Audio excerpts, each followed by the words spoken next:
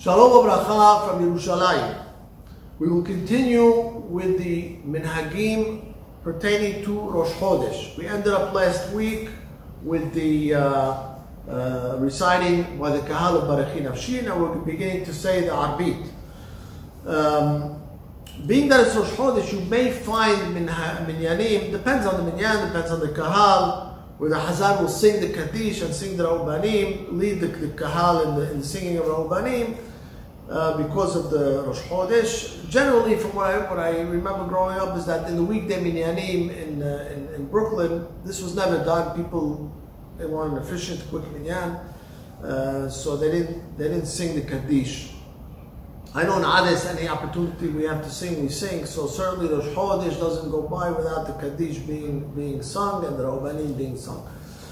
Uh, be that as it may, we finish with the with the uh, Kirat Shema, with the Ashkivenu, Kaddish, now we're going to say the Amidah. The Amidah we have to say Ya Aleh How do we remind the people so they don't forget the Aleh Ve'abo and the Amidah?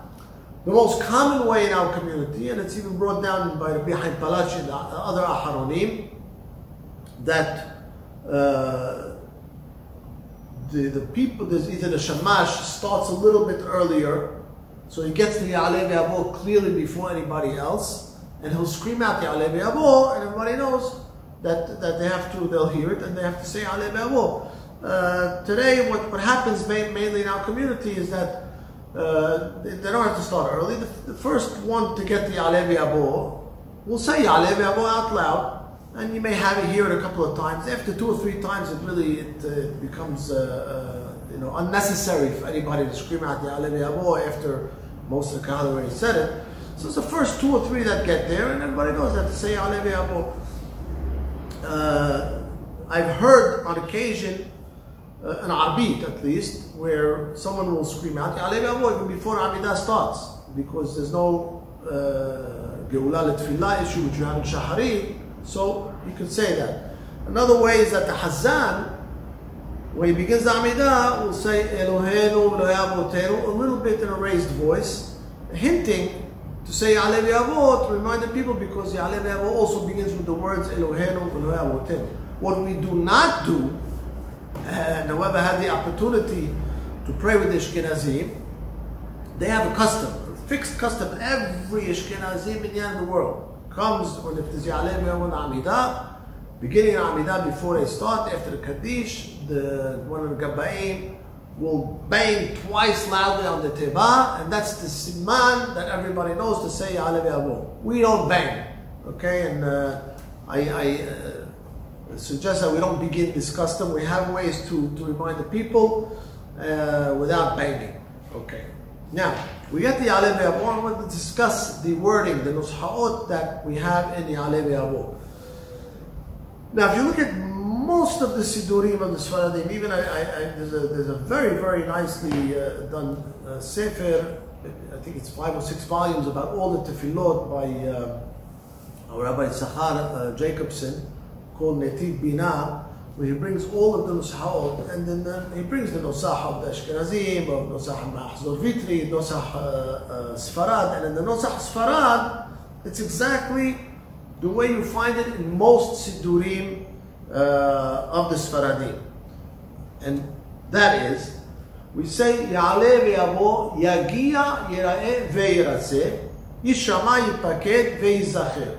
In other words, we don't put a vav before each uh, uh, description. Ya'aleh ve'yavo, ve'yagia, ve'yira'eh, ve'yiratzeh. You will find that in some Sidurim, that's not our custom. Our custom is correctly reflected in the, the printing of Kol Yaakov in, in this uh, in, in, this uh, point. We say Ya'aleh ve'avo, then Yagia yireh ve'yiraseh. Shmai paket. That's the first nosah, which is important to note. Now, we've seen uh, books printed uh, mainly from the Iraqi communities where you will have Ya'aleh ve'avo ve'yagia. That's not our custom.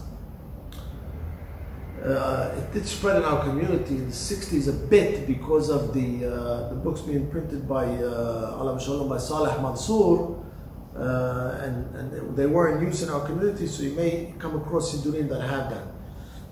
The next change that we have, which is consistent with most Sfaradim, is we have lehen lehesed rahamim beyom.